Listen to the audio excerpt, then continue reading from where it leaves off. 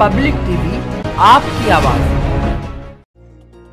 ग्राम पंचायत रुस्तमपुर बड़मार से राजबाला देवी ग्राम प्रधान के चुनावी मैदान में हैं, जिनका कहना है कि चुनाव में जीत हार का फैसला तो गाँव की जनता को करना है। लेकिन इतना ज़रूर है कि यदि गाँव की जनता ने मौका दिया तो गाँव का चहुमुखी विकास कराया जाएगा। तो वहीं जब उनके पति मुनेन्द्र पाल सिंह से बात की गई तो उनका कहना है कि गाँव में शिक्षा के लिए उन्होंने स्कूल खोला है जिसमें बच्चों को हर सुविधा दी जाती है। तो वहीं उनका कहना है कि अब तक का जो विकास कार्य क्षेत्र में नहीं हुआ, उसे पूरा कराना ही उनका पहला मकसद होगा। मुनेन्द्र पाल सिंह का कहना है कि गाँव की जनता ने ही उन्हें चुनाव मैदान में खड़ा किया है और अब गाँव की जनता ही उन्हें चुनाव भी जिता रही है। यह है, गरीब लोग मेरे साथ हैं सारे। माताएँ, बहनें, बुज़ुर्ग, सब लोग एक तरह से आंधी चल रही है चुनाव और मैं निश्चित तौर पर एक तरफा जीतूँगा। क्या इस क्षेत्र में जो पिछले पाँच सालों में जो विकास रह गया वो कैसे इस बार पूरा करेंगे? पिछले पाँच सालों में क्या है यहाँ से जब से आज़ाद हुआ है भारत तब से यहाँ कोई काम ही नहीं हुआ। किसी प्रधान ने यहाँ कोई काम नहीं किया है आज तक। मैंने तीन चार वायदे किए हैं यहाँ लोगों से। एक वृद्धा आश्रम बनवाऊँगा जो माताएँ बहनें माता हैं हमारी जिनको उनके बच्चे नहीं देख पाते या पिता को नहीं देख पाते माता को नहीं देख पाते उनके लिए हम एक वृद्धाश्रम बनाएँगे। हैं और उनकी सेवा करेंगे उनके बेटे हम खुद बनेंगे। कुछ और लोग हैं हमारे मित्र मंडली में जो स्कूल चलाते हैं या कोई और ट्रस्ट चलाते हैं उनसे भी सहयोग लूँगा मैं। और एक अस्पताल बना के दूँगा मैं यहाँ पे क्योंकि अस्पताल की बहुत कमी है। जब बारिश वगैरह होती है साधन खराब हो जाते हैं तो उस समय मेन समस्या उसी की है जो कि इन लोगों को दवाई समय पर मिल सके। और मेरा एक बेटा डॉक्टर है जिस समय लखनऊ में बैठता है। उससे मैंने कहा है भाई कम से कम पाँच दिन पूरे गाँव के लिए दवाई फ्री दोगे। उनसे निःशुल्क दवाई मिलेगी उनको पाँच दिन। और पहली तरफ़ एक इसका टुकड़ा है गाँव का जिसकी बहुत बड़ी समस्या है बाढ़ आने पे वो लोग घिर जाते हैं बहुत बुरी तरह से।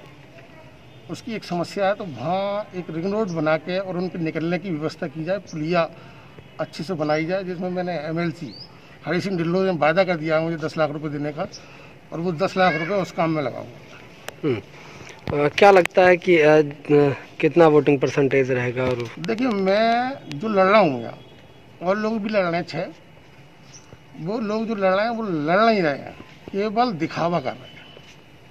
दिखावा ये कर रहे हैं कि उन्होंने तीन तीन लोग लड़ा रखे हैं अपने घर से। तो उन्हें तीन चिन्ह मिले हैं। यही गुमराह कर रहे हैं जनता को कि भाई आज वो कुछ बताएँगे कल कुछ बताएँगे परसों कुछ बताएँगे। मैं अकेले लड़ रहा हूँ। मेरी पत्नी जो है वो बहुत समाज सेवा है पहले से ही। और मैं भी करता रहता हूँ यहाँ। जिनके माँ बाप नहीं होते उनके लिए मैं निःशुल्क शिक्षा देता हूँ। एक धर्मशाला बनाई है। वो निःशुल्क है गरीब बच्चों के लिए। जो बच्चियाँ शादी होंगी उनके लिए भी सहयोग करेंगे। पाँच हज़ार रुपये मैंने देने का वायदा किया है। हर बच्ची को पाँच हज़ार रुपये दूँगा चाहे उसका सामान दूँगा या पाँच हज़ार रुपये दूँगा।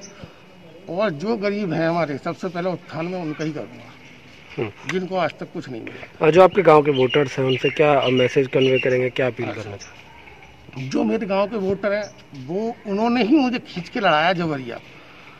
गरीब लोग मेरे पास आए बोले चाचा ताऊ या भैया इस बार आप केवल नामांकन कराइए और वोटों की चिंता मत करिए वोटों से झोली हम बढ़ा देंगे। हम्म। कोई अपील करेंगे उन लोगों से? हाँ मेरी अपील है उनसे।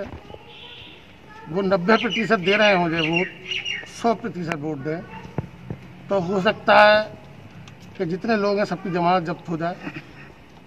और मैं एक दृढ़ निश्चय के साथ बहुत ही अपने स्वच्छ दिल से सबको लिए मैं काम करूँ विकास करूँ। जो जिस पे मैं खड़ा हूँ जो वो विश्वास कर रहे हैं उस पर मैं खड़ा हूँ। प्रदेश संगठन मंत्री भी हूँ। वो लोग भी मेरा सहयोग करते हैं। चाहे वो किसी प्रदेश से रहे हों मैं जब उनसे कहता हूँ कि भाई कुछ गाँव के लिए करना है या गरीब लोगों के लिए करना है तो वो लोग भी सहयोग करते हैं। हम किसी झगड़े में या उद्दंग में विश्वास नहीं करते।